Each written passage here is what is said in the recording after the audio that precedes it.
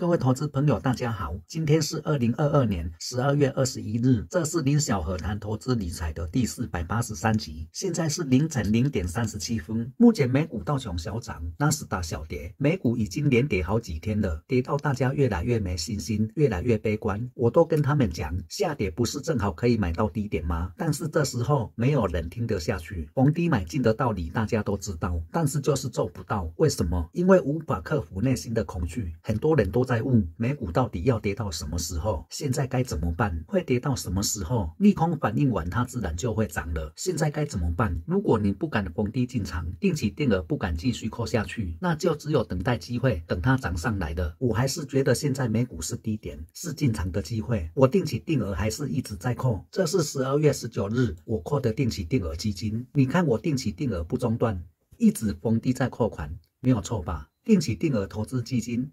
货款就是不能中断，我就是这样做的，是不是？别担心，我相信美股它一定会涨回来的。今天这一集就谈到这里，下集再见。